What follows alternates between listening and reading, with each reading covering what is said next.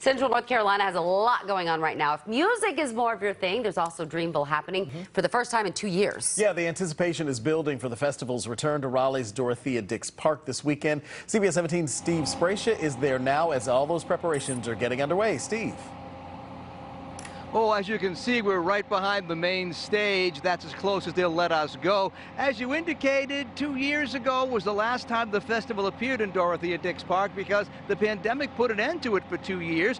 This afternoon, we've watched workers scurrying around for hours right now, making sure that all the sub-venues are ready for when this thing kicks off two days from now. Back in 2019, this festival brought in nearly $4 million to the local economy, and the city is hoping for that same kind of economic boost this time around. One of the biggest concerns about this event will be parking.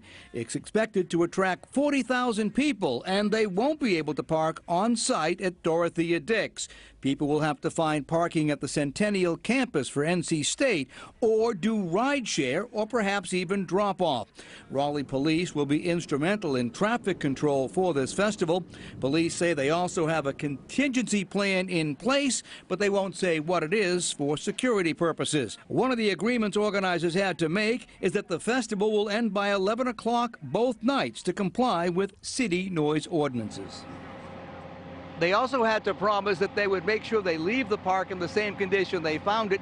Back in 2019, that was no problem. We anticipate it won't be a problem this time around either. We should also tell you this festival is about as legitimate as they come, but scammers are using festivals like this and the Final Four to create excitement over fake websites they're building about fake events. Coming up at 6 o'clock, I'll tell you how to protect yourself from fake tickets and fake events that scammers are trying to entice you into. Join us then. For now, reporting live, I'm Steve Sbraccia, CBS 17 News. It's a big weekend for everybody. Steve, thank you very much. Always got to be on the lookout. Mm -hmm. The weather's going to be play a big part too tomorrow.